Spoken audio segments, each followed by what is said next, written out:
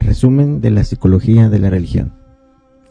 Dentro de las distintas ramas que existen en la disciplina de la psicología, se conoce con el nombre de psicología de la religión a la materia que a través de distintos métodos e investigaciones busca entender el elemento religioso presente en el humano, es decir, el cómo y el por qué el hombre se relaciona con el hecho religioso.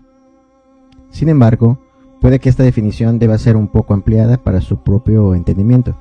En ese sentido, será necesario referir igualmente que algunos autores definen la psicología de la religión como la rama de la psicología que busca entender cómo se relaciona el humano con la religión, pero desde su aspecto psicológico, es decir, qué carencias o propiedades impulsan al hombre a relacionarse con este hecho, así como las regiones y emociones que se conmueven en la propia experiencia religiosa.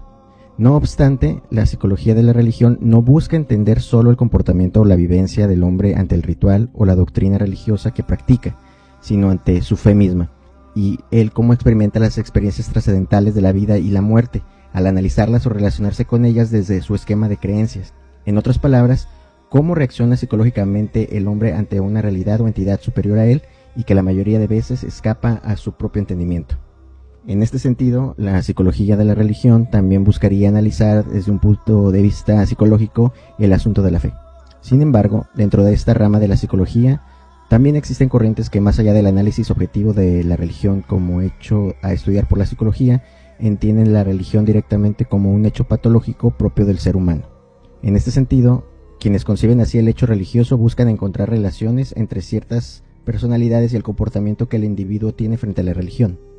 así como las creencias de éste y sus rituales. En un ámbito más sociológico, la psicología de la religión también se interesa por estudiar las distintas manifestaciones religiosas que existen en las culturas, tanto las tradicionales como las emergentes.